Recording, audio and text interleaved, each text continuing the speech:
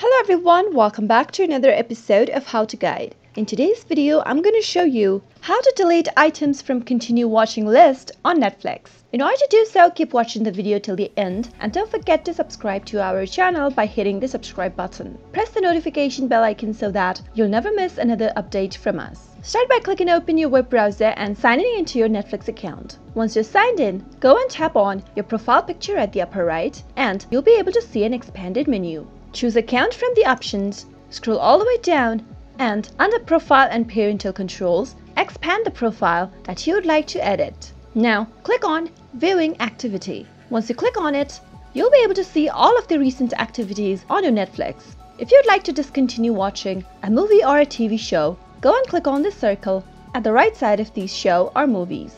After you click it on, click on Hide Series and the particular movie or TV show will no longer appear in the Netflix service as a title you have watched and will no longer be used to make recommendations to you. And with this, you will be able to delete items from continue watching list on Netflix. That is how it is done. I hope you found the video to be helpful. If you did, go ahead and give us a thumbs up, comment down below in the comment box if you have a question or a feedback for us. I'll soon be back with more tutorial episodes. Goodbye till then.